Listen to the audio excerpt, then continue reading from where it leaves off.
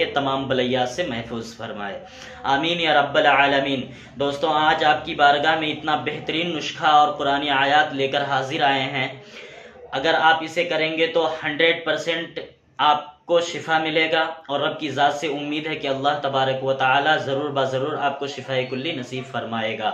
तो दोस्तों, अगरचे आप मेरे चैनल पर नए हैं तो सबसे पहले मेरे चैनल को सब्सक्राइब कर लें, लाइक कर दें, शेयर कर दें और बेल आइकन के बटन को भी प्रेस कर दें। अगर बोलने में कोई गलतियाँ या ख़ता हो जा रही हैं तो मेरी इसलाह भी फरमाएँ।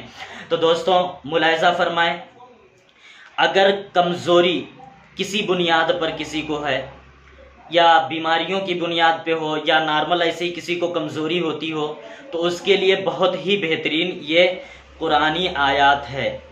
आप इसे एक कागज़ पर लिखना है, यासीन वल कुरानिल हकीम। इतना ही आपको लिखना है और लिख करके आप कमर पर बाँध लें। इनशा अल्लाह अल्लाह की ज़ात से मुझे उम्मीद है कि अल्लाह तबारक व ताली उस इंसान को कमज़ोरी से शिफा फरमाएगा, जो इसे करेगा।